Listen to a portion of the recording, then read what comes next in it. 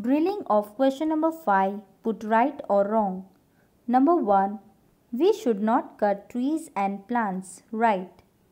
We should not cut trees and plants. Right. We should not cut trees and plants. Right. Number 2. Fruits are bad for health. Wrong. Fruits are bad for health. Wrong. Fruits are bad for health. Wrong. Number 3. Spices make our food tasty. Right.